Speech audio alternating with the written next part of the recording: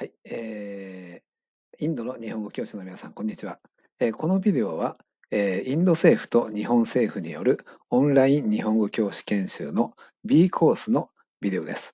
私は村上義文と申します。どうぞよろしくお願いします。はい、えー、っと、この第1週は、えー、教師の役割と学習者のコミュニティについてお話しします。えー、中でも今日の第1回目のビデオでは、教師の役割が変わった理由についてお話をします。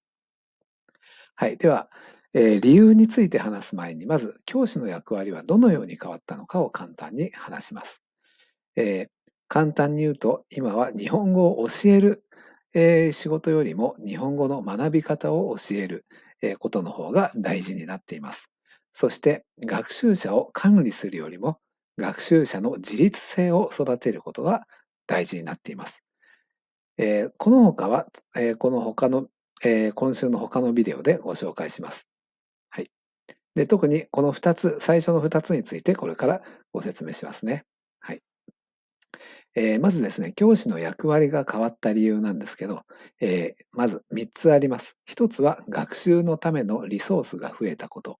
そして2番目に社会の変化が早くなったこと、そして社会が多様化したことがあります。はい。えー、学習リソースはあの OER と言われていますね。例えば YouTube の、えー、YouTube でですね、ヒンディー語で、えー、日本語で自分をどういうふうに紹介するかというふうにヒンディー語で検索してみると、このような、えー、ビデオをすぐに見つけることができます。で、このビデオだけでも、あ、ちょっとごめんなさい。はい。このビデオだけでももう2134回視聴されています。それからこれは Duolingo というスマホのアプリの 画面ですね。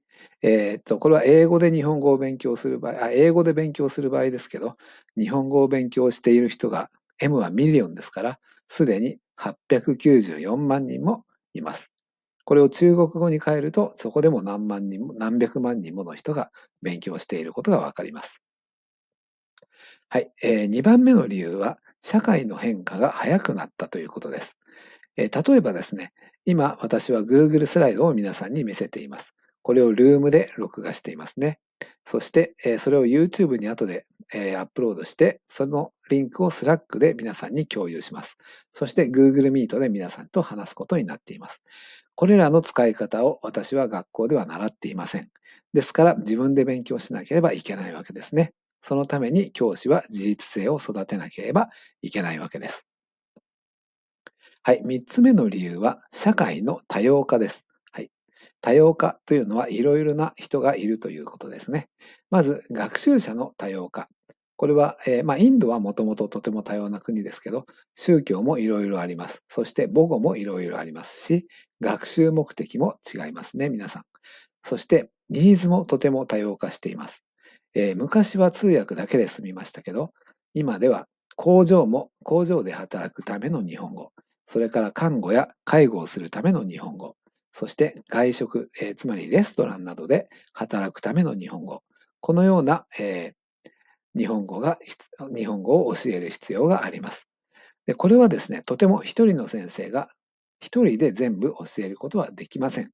ですから、学習者の自立性を高める必要があるわけですね。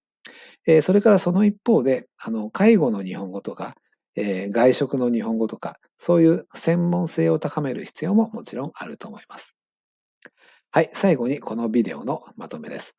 えー、教師の役割は、今は日本語を教えるのではなくて学び方を教えること。